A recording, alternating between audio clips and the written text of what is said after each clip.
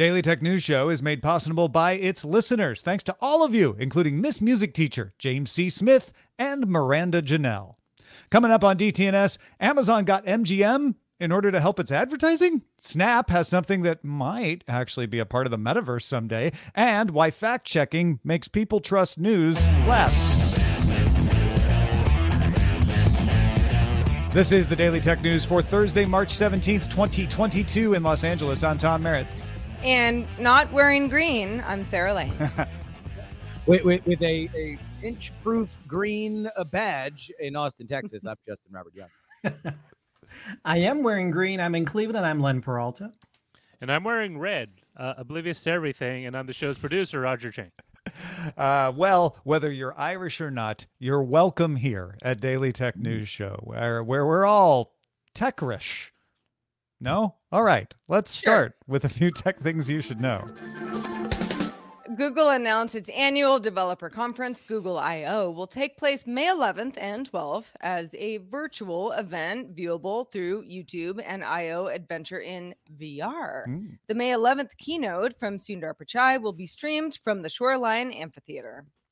Samsung announced new models in its mid range Galaxy A series. Uh, the A53 5G adds 5G, as you might have guessed from the name. Uh, it also has better display visibility, photo editing features, six gigabytes of RAM, and a 5,000 milliamp hour battery. All models will use Samsung's Exynos 1285 nanometer processor, so no Qualcomm in the US this time. Starts at $50 lower than the previous A52 version. A little inflation buster there from Samsung.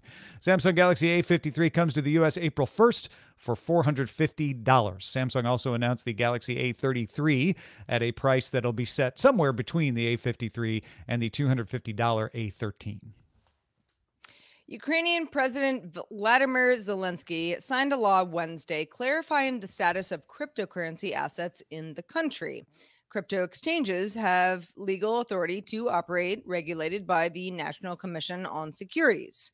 The bill passed Parliament on February 17th after the president had rejected a previous version back in September of 2021. The Ministry of Finance is working on amendments to the country's tax and civil codes to fully launch the market for virtual assets. AMD confirmed that its upcoming Ryzen 7 5800X3D processor will not support overclocking. Uh, that's the official word. Everybody kind of thought that, but they've made it for sure. Uh, they said the reason is the 3D V cache doesn't work at high voltages. AMD says the extra cache, however, in their opinion, will compensate for the lower clock speed.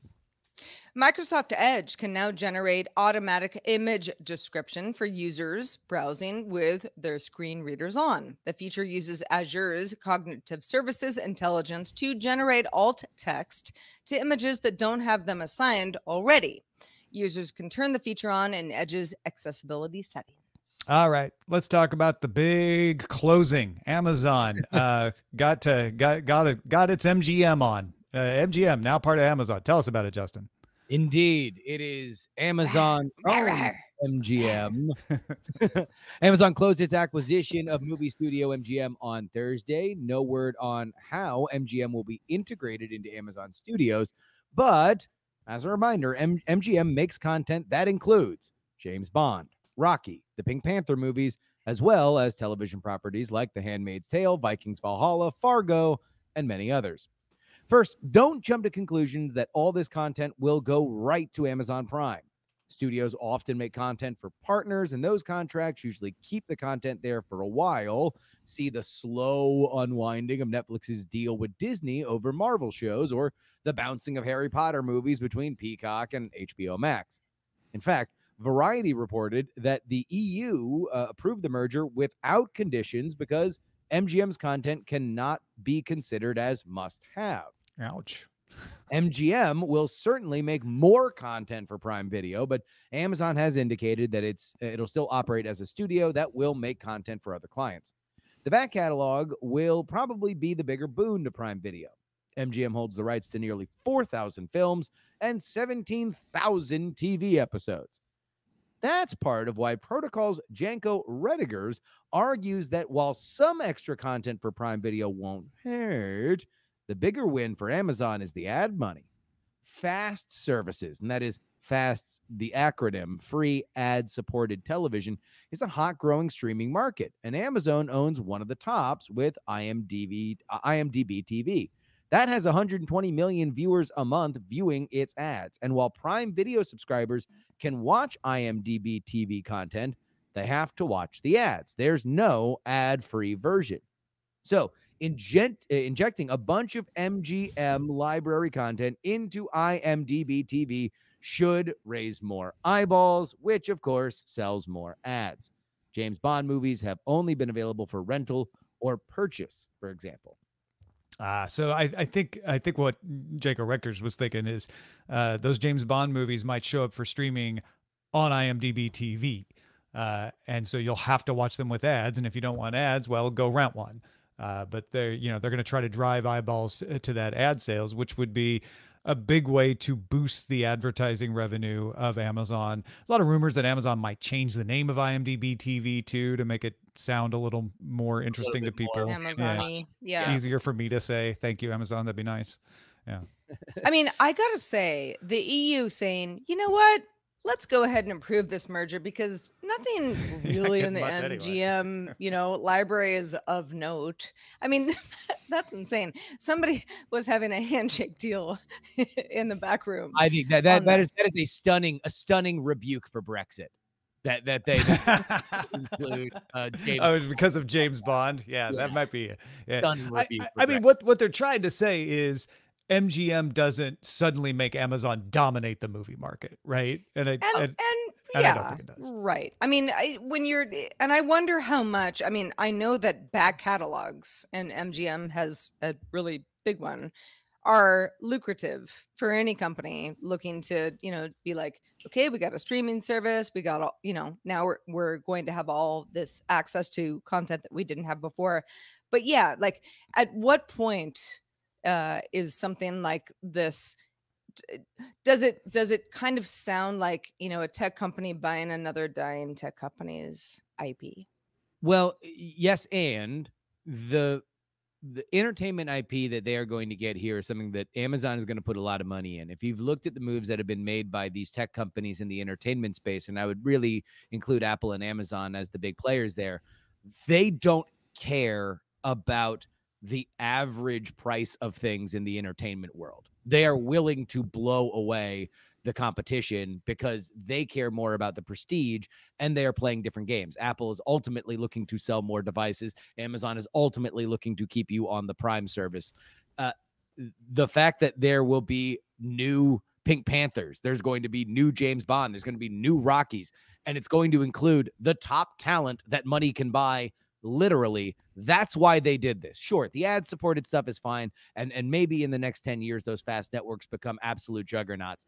But make no mistake, considering what Amazon just paid for a Lord of the Rings series that legally cannot mention any of the characters you know from Lord of the Rings, uh, this is for their ability to free and clear make new branded IP properties that they can make exclusive to their platforms. I mean, they could mention Galadriel, so it's not it's not all of it, but it just I- has to be mentioned in the Apologies- appendix, right? Apologies for my for my rampant Galadriel slander. but but yeah, they they are willing to pay a lot to get a little bit of franchise, and they're getting a lot of franchise in MGM. But it's I don't think it's any of one of these reasons. MGM wasn't the best thing to buy if they just wanted the franchise. It isn't the best thing to buy if they just wanted the back catalog. It isn't even the best thing to buy if you want the studio expertise. I think Amazon gets the benefit of now saying, "Hey, Amazon Studios, you have a whole group of people who've been doing this for decades now that can help make Amazon. It, it- it's going to help Amazon content just as much as it will help MGM content, right? It's a two-way street. Yeah. I don't think it's a, I don't think it's any of those things. I think it's all of those things. It it's is- a it is- combination. It is all of these things. The deal works for a lot of different reasons, but buying studios is not easy. They are not always uh, uh, for sale. They are not always for sale to you, depending on where you are in the market. Uh, MGM has been kind of a sick puppy looking for a savior for a while. This made sense, like like you said, Tom. Yeah. all of the above.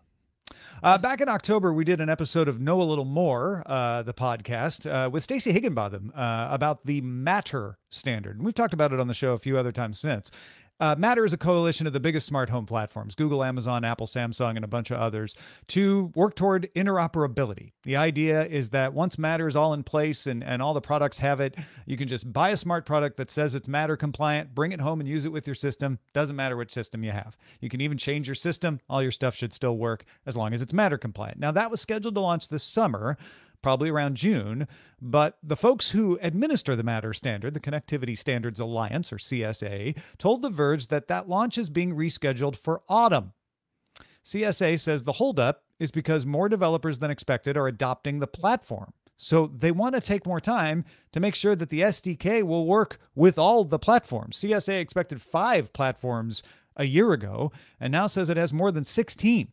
So, in addition to the ones you'd expect, like Amazon, Google, etc., you also have Infineon, Synaptics, Darwin, Tizen, uh, TI, NXP, X Espressif Systems, Nordic, and more. Everybody wants in on this, which, if that's the reason, that's a good sign.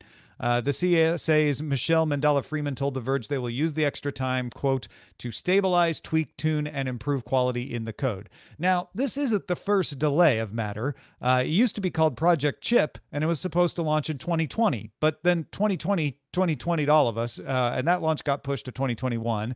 In August 2021, they changed the name to Matter, set mid 2022 as the launch. So pushing it by one season from summer to fall is a shorter delay than they've done in the past. If you want to keep watch for milestones, CSA still plans to make the 0.9 Matter spec available in June. That'll go to more than 450 members so you can start testing and certifying when the 1.0 spec comes later in the year. Spec validation is expected to take six to eight weeks.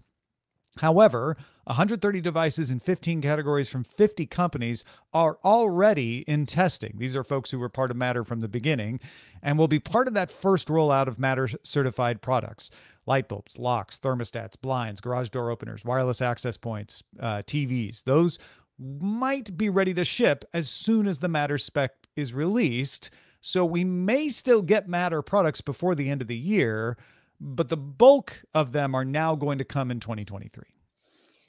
Well, as somebody who's pretty, you know, I, I have a lot of smart home devices. Uh, it'd be cool to be able to, you know, use Matter as sort of my single hub in the future.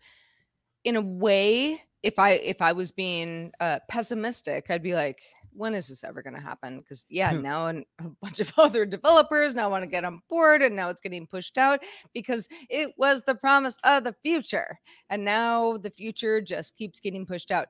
That said, all of this makes sense to me. Uh, you know, the consortium saying, okay, well, we have way more interest. That is a good thing. That is a very good thing. In the short term, it's a little bit of a messy thing. And so, you know, the consumer has to wait a little bit longer. I it makes a lot of sense to me that this is delayed because if you understand what they want to do, they can't break things. Matter is as a brand supposed to and, and I don't mean that in in the specific way that they're trying to sell stuff, but rather in what you think about when you think about Matter. What they hope is ease of use. And so if it is breaking things, it is going exactly against their entire purpose. So for me, I, I totally understand. If it's worth doing at all, it's worth doing right. And if you have more SKUs than you would think, then yeah, take the time to make sure that it that it works because no one's gonna have any sympathy for them if this rolls out and now all of a sudden my front door lock doesn't work. Yeah, uh, and and especially when the whole point, uh, like well, like we've been saying, is that this is easy, right? So you want to make sure it works because otherwise people will lose faith in it really fast. And I, I I think it gets overestimated whether that faith can be restored, but you don't want to have to go through that work to restore it because it takes time and it takes money to do that. And and all the big companies are on board with this. I, I think it is it's easy to want to slam it and say like ah it'll never work these are big tech companies i don't trust them obviously here we go delaying again it's going to keep getting delayed you just wait it sound it rings true to me that they're like actually we have these people on board that really the only interest we have in bringing them on board is is making this thing an actual standard and so we're going to treat it with respect and now, make sure if- it's a standard. if in two weeks we get the unsourced story that Apple or Google are looking to pull out, now I, I think it, Yeah. it is a different story. And, and to be clear, we're not now, hearing to give them the benefit of the doubt. we're Yeah. not hearing any rumblings like that. We're but not. yeah, No. that, We're you'd have to hear No. something like that to, Yeah. to to be like, all right, there's something else going. And Make matter matter. yes, we want 2022. matter. Indeed. Uh, well, speaking of things that might matter to you, Snap launched custom landmarkers on Wednesday, which lets the more than 250,000 lens creators tie experiences to physical locations like stores or sculptures or other landmarks. So, for example, you might have a lens that shows up if you're near your favorite brunch place, for example. To use it, you'll need a phone with a LiDAR sensor, like an iPhone, to scan the landmark. Then you import the scan into Snap's Lens Studio software on a desktop. Early testers said it took less than a day to make a geospatially anchored piece of content. Not, you know, it's pretty good turnaround. Creators can also post QR codes in the real world to let users know there's a piece of AR content out there. Go find it. Custom landmarkers are viewable in the Snap mobile app as well as AR enabled spectacles.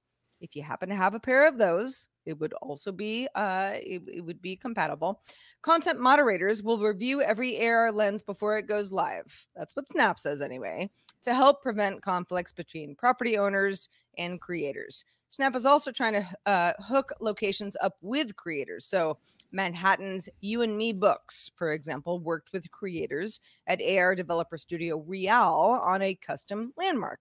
Snap's computer vision engineering director, uh, Qi Pan, told Protocol that the next step would be to enable multi user AR experiences. That's actually the most fun part of this, I think. The multi user aspect of this or the Yeah. potential of it. Yeah, so that you can interact not only everybody pointing their phones at the big saxophone next to the, you know, musician's statue, but you know, you could all start playing it with each other or or send Mhm. things or you know, throw a virtual ball or like who got there first or Yeah, you know yeah. some sort of gamification part of this yeah Yeah, I, I think that this is a a next level step up with what a lot of people have been doing on the Snap platform for a while in terms of creating filters that you could use only in certain geolocations. So you'll see that a lot of theme parks or restaurants or big events, concerts. Uh, whenever you're scrolling through somebody's Snap stories and you see, you know, Coachella or something like that, that is something that Coachella sets up and sets the boundaries for. Now uh, when you are watching Kanye West at Coachella, you might be able to behind the stage see a gigantic, you know, Donda house or something like that that would be able to digitally be inserted and everybody would be able to see it from different angles. It's a cool idea. I, I do think that AR wise, this is the kind of stuff that you would likely see more of if we are in a, a world where you are constantly looking through uh, uh, AR uh, powered glasses or something like that. But uh, it, it really is. I mean, to be totally honest, the most fascinating thing about this to me is that it is on a just sign up to be a creator level because all of the hardware is on commercially available phones. I mean, the fact that we can LiDAR scan and create something that fast truly is a, a leap forward that I think we kind of take for granted. I don't know if this is the Friendster, MySpace, or Facebook of this thing, but this is the kind of thing that builds the metaverse, right? You have creators going out and creating stuff. Some of it won't be that useful. Some of it will only be popular temporarily. Some of it will just be artistic. Some of it will be practical. But I imagine this becoming, whether it's Snap's implementation or somebody else's, becoming an eventual substrate of the metaverse in the real world where we walk outside and we pop on those glasses that Justin is talking about and we see a whole lot more things. I was I was saying in our meeting today I was like what if we had a DTNS meetup and there was an AR uh arrow that was like yep you're in the right place. This is Yeah. this is it. Or you, you had little navigation markers along the way where only people going to the meetup could see them but it would help guide you to the thing. Like there's there's all kinds of useful things this can do as well. Well and it you know but as we're talking about the metaverse and like what is it? Where is it? How do we all get there? How is it like great for us? I think and I, and I've definitely been a, a person who's been sort of held back by being like, well, I don't like this thing. I don't want this in my metaverse. Why would I want this? That's that's sort of like you you have to think of it as like real life in a a, a certain sense. That oh my goodness, I'm sorry, my uh, my uh, uh, Apple Watch is ringing. I'm not used to it yet. Uh, uh, the the idea that you know Snap has launched uh, so many of these landmarkers is like great. Is it right for me? Maybe not. Might be right for somebody else, but Mhm. it doesn't need to make sense a hundred percent of the time for a hundred percent of the people. Yeah, real quickly, uh, Princess Delirium has a good question in our Twitch chat. Uh, how do people with glasses deal with VR goggles and headsets? And the answer for AR, anyway, is the Wayfarer, where you have prescription glasses Yeah. that are your VR glasses. Now, Wayfarers from from from Meta are are not VR or AR glasses, but they are obviously meant to be the template. So you'll have prescription augmented reality glasses. Yeah, I mean, I think yeah, VR you wear the headset over top of your glasses, and Yeah, you have some kind of spacers AR or something. like theoretically you you would build that in. Yeah. All right, folks, if you have a thought about something on the show, maybe we provoked a thought there in that conversation. Why don't you send it to us? Email us feedback at dailytechnewsshow.com. Political scientists from UT Austin, La Trobe University, the University of Melbourne, and University of Waikato published a study in Digital Journalism, a peer reviewed journal, uh, called Does Third Party Fact Checking Increase Trust in News Stories? An Australian case study using the sports rorts affair. So, quick digression a rort is Australian slang for a dishonest act. Hmm. Sports Is it- rorts. Sports Rorts was a story about the Minister of Sport in Australia denying that she awarded grants based on whether a club was located in a swing seat for her party in Parliament. Okay, back to the study. The scientists made two identical stories, but presented them as being either from ABC, the, the broadcast network, or News Corp. Uh, these are two mainstream media outlets in Australia. The stories had identical wording and headlines. These weren't the actual stories from these outlets. They just had different fonts and banners to try to control for whether someone had a perception of one or the other. 1,600 adults were asked to read one of the stories and then answer questions about news trustworthiness. Half the 1,600 were given a version with an AAP fact check to read as well. That's the Australian Associated Press. 86% found the ABC story trustworthy. 79% trusted the News Corp story. Those are both really high. However, here's the interesting thing trust in the stories fell 13% after reading the fact checking article. And the scientists suggested that the fact checking worked to point out that the politician quoted in the story had told a lie, but that the reader, when they found out that the statement was a lie, reduced their trust in the source of the story, not just in the politician who lied. They suggested that media outlets may want to spend less time giving equal weight to all sides in an issue, call, you know, calling out things that are falsehoods in the stories themselves, and that fact-checking sites might want to clearly state who's being corrected, that they're not correcting the the article's author, that they're correcting the politician, which some fact-checking does, some doesn't. Well, some might suggest that maybe the users of these social media platforms just don't like being in hell, which is what the portal of endless fact checking has done to these readers because they are indeed a hashtag portal to hell, hashtag hell portal. Uh, look, I- I, I think that there's a lot of ways that you can look at these. Uh, uh, uh, I think that it is faulty for uh, social media companies to look at themselves as a platform that is adding a filter onto a media source. Because what I think is fascinating about this is that readers don't view it as, oh, here's this objective truth fairy filter that is put over top of the imperfect world of media. Instead, it's just another form of media. You are just attacking directly these other sources. And there's a million. I mean, I could bore everybody's head off by talking about how I think that the the, the way that we have uh, organized journalism is is slipping, and I think that there are are functional things that editorially outlets should be focusing on that reduce the concept that there is a both sides ism when it comes to reporting. But at the end of the day, these fact checking outlets are not anything other than direct media rebuttals to the original sources. And when you look at it like that, it is very antagonistic and it is almost designed to erode trust. Yeah, I, I, I think one of the things that caught me here is uh, that I I because I went to journalism school, I guess, understand that a fact check on something is not a fact check of the entire thing, right? It's a fact check of a part of the thing. Uh, but that's not clear when you, when when you're fact checking an article from News Corp. Feels like you're saying that the News Corp article was true or not, uh, and and and really what it gets down to is, in my opinion, fact checking was not a panacea. Fact checking was a a response to people shouting "do something," Yeah. so they did something, and we are now studying afterwards whether that was the right thing to do and how effective it was. And I, I'm not saying fact checking has no place. Uh, I think it does. It's just we rushed to slap it on without really knowing what its effects would be.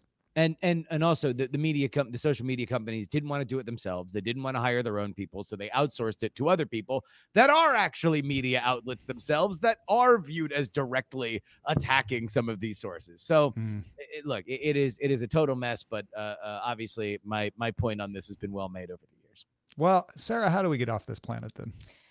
Uh, I'm glad you asked, Tom. Uh, NASA's Space Launch System, uh, or LS- uh, uh, SLS, is readying a practice countdown before the first Artemis mission later this spring, which is more than 10 years after the last space shuttle took flight. It's kind of a big deal if you care about space. The Space Launch System is designed to bring the Artemis missions to the moon, starting with Artemis 1 coming in the spring.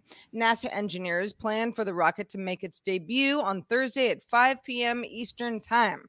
It will then roll out the vehicle assembly building and be ferried to Launch Complex 39B at Kennedy Space Center on Florida's East Coast. Just in East Coast of Mhm. Florida. Mm-hmm. Uh-huh. space coast baby Yep. Engineers and technicians will run a series of pre launch tests through April 3rd. If SLS does indeed pass, NASA, NASA can then set the launch date for the Artemis 1 mission. However, there was a lot of scrutiny of maybe this is, you know, a lot of cost overruns, quite a few delays, as these things do tend to have. So, with a lot of effort and funding invested in this particular moon program, a test run and staging ground for eventually sending astronauts, human astronauts, maybe to Mars, uh, is you know is is is clearer than ever. But there's a lot riding on this test.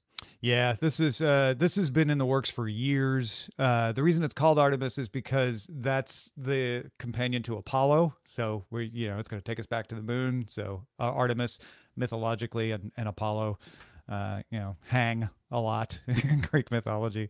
Yeah. Uh so so yeah, uh it's it's it's exciting to to see a a big rocket ready to take off from Uh, yeah, look, the, the, the SLS has been derisively nicknamed the Senate launch system because it's looked at as, as a give back to a lot of the contractors that have made space stuff for NASA in the past. It was once looked at as a competitor to SpaceX, and then the intervening five years happened when SpaceX made itself to be a standard for space flight. Uh, the SLS will not be taking us to Mars. Uh, it will not beat SpaceX to Mars, barring something incredibly insane, considering how slow uh, it has gone. But it is good to see, and the Artemis mission will include uh, a SpaceX component. So that's it. and the Artemis mission wants to put the first woman on the moon because we've Yeah. only sent men. good. before. Good. Uh, I, I- I'm I'm always glad to see it. Uh, uh, more space is better space, but uh, the SLS is something that even from the moment that it was greenlit was uh, was out of date. All right. I know I told Sarah to take us to space, but now I need Sarah to take us back down to the ground. What's in the mailbag, Sarah? Oh, Tom, I'm glad you asked. Sean, the historian in Toronto, sent in his thoughts on renting e bikes because we were talking about that earlier this week. Uh, in Toronto, specifically, Sean says, um, I've used Zygg. And by the way, we'll put his full email in the show notes if you want to read the, uh, the full transcript. We'll summarize now. Sean Zygg, which is a 189 uh, Canadian dollar per month on a month to month plan, or $129 a month on a one year plan, as well as seasonal discounted rates. Last autumn, Sean says he signed up for two months just to try it out. And, quote, they delivered the bike directly to my home, and repairs and services were included in the price of the subscription. My commute is 25 kilometers. I tried it on a standard bike a couple of times, but it just wasn't practical for me. Too sweaty. Switching to a pedal assisted e bike was the perfect solution for me. I was able to commute regularly to the office two to three days a week, arriving in an hour and relatively sweat free. If you're worried about safety, Sean adds, these bikes are fast, but they aren't faster than a standard road bike, many of which blew right by me on the way to work each day. Ah, well, that's good to know. Thanks for that. I like to get these on the scene reports, and I didn't even know they they had one of these in Toronto. Uh, so there's there's even more places out there. They seem pretty widespread. Well, and I think you know the, there's uh there's the you know the whole idea of like you know ride a bike, you know, good for your heart. Uh, you know, don't contribute to uh g- gas emissions, kind of thing. A lot of people are like, yeah, but I mean, if you're really working at it, you are sweaty all the time. So I think Sean makes a really good point about you know what's actually. uh reasonable for you to show up to an office you know maybe in work clothes you know and be able to use it to your advantage Well, busily illustrating today's show has been Len Peralta, and so we we check with the artistic facts that he has created. What do you got for us today, Len? Facts. It's funny you should mention facts, Tom. I decided to go with uh, the lot of misinformation, the the fact checking and everything else. Uh, this is called fact check this, and uh, it's definitely something if you're not watching the video to check out because there's a lot of lies being uh, uh, given by this so-called politician and some poor guy in the corner who is saying you can't really trust these fact checks uh, articles at all, really. And um, uh, one thing that's interesting about this is uh, it's probably worth checking out because there's all kinds of little tiny hidden sort of things in the background, these lies and stuff like that. So you may want to. I was I was Supply intrigued that the, the inside of my opponent is Nutella. Uh, but then I saw that uh, the Cleveland Browns are number one, and I knew something was wrong. Yeah. They're actually Super Bowl contenders. Yeah, there's uh, there's that's another could be a lie. Yeah. Um, if you want to see this, you can go to uh, my Patreon, become a patron, patreon.com forward slash Len, or at my online store at lenperaltastore.com, and you can purchase it right there. Well, great work as always, Len. Also, great work from you, Justin Robert Young. Let folks know what you've been up to lately. Uh, well, thank you, Sarah. Uh, Len, condolences on Baker Mayfield's trade request, but you can uh, uh, uh, listen to the work that I uh, have, have put out on Dog and Pony Show Audio, my production company. The new season of World's Greatest Con, starring Brian Brushwood, is rolling on. The newest episode this week is all about Charles Ingram and the Who Wants to Be a Millionaire scandal. A retired, ar- or sorry, an active army major in in the British Army goes on Who Wants to Be a Millionaire, wins the million dollars in one of the most improbable runs of all time because allegedly he and his wife used the dumbest con of all time that we will ever cover on this series. You can go ahead and check that out now. And listeners to the Great Night podcast, tomorrow there is a thing that I've been working on in secret. It is the dumbest thing that I have ever worked on personally, but longtime listeners of the show will very much enjoy it. So check that out. Great Night podcast for comedy stuff, for serious stuff. World's Greatest Con season two continues. Uh, Justin, I don't know how you do it. You are one busy human. Uh, uh, I, I just don't know how you do it. fortify myself laughing at the Cleveland Browns, which has which has powered. me that's, that's what propels you forward. And Uh, it's the, the hate Oh. burns within me. All right, all right, everybody. Uh, special thanks to Martin. Um, Martin, maybe a Browns fan, maybe not. We don't know, but we do know that Martin is one of our top lifetime supporters for DTNS. So thank you for all the years of support, Martin. Uh, reminder, folks, there's a longer version of the show called Good Day Internet available at patreon.com slash DTNS. If you're part of the live show, we're going to roll right into that now. Uh, just a reminder for DTNS, we're live Monday through Friday at 4 p.m. Eastern, 2100 UTC. Find out more at dailytechnewsshow.com slash live. We are back doing it all again tomorrow with our guest, Stephanie Humphrey. Talk to you then. This show is part of the Frog Pants Network. Get more at frogpants.com. Diamond Club hopes you have enjoyed this program.